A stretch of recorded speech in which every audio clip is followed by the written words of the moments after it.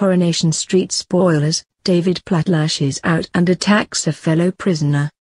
David Platt is said to face an arduous ordeal in prison as he is locked up on remand after absconding on the way to court for his trial in Coronation Street.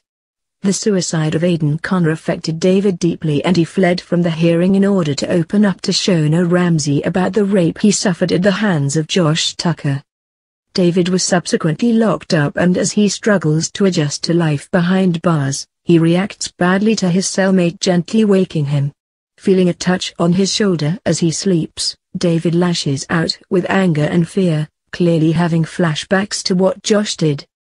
Meanwhile, Imran Habeeb is determined to find out anything that could help David and presses Shona Ramsey for information on the extenuating circumstances she previously alluded to which would explain David's attack on Gary Windass.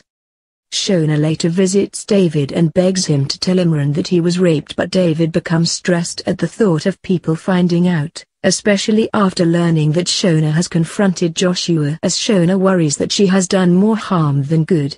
She later gets some information that could help bring Josh to justice when she learns that he was sacked from a previous job. Shona will then seek out a colleague involved and discover that Josh has attacked someone before, but will this person be prepared to speak out against him?